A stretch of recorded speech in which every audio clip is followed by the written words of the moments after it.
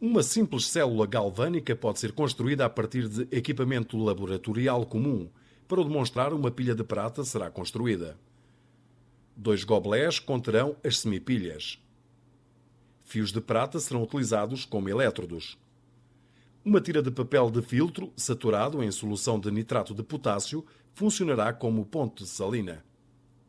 E um multímetro será usado para medir o potencial entre as duas semipilhas. Encha metade de cada gobelé com solução de nitrato de prata.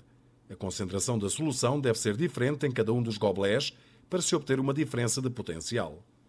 Satura o retângulo de papel de filtro na solução de nitrato de potássio.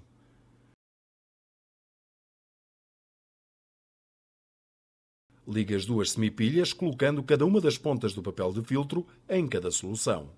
Forma o elétrodo de prata, ligando os fios de prata a cada um dos fios do multímetro. Ajuste o multímetro para que este meça a diferença de potencial expressa em volts. Coloque um dos elétrodos de prata em cada uma das semipilhas. Certifique-se que os elétrodos de prata não tocam na ponte salina.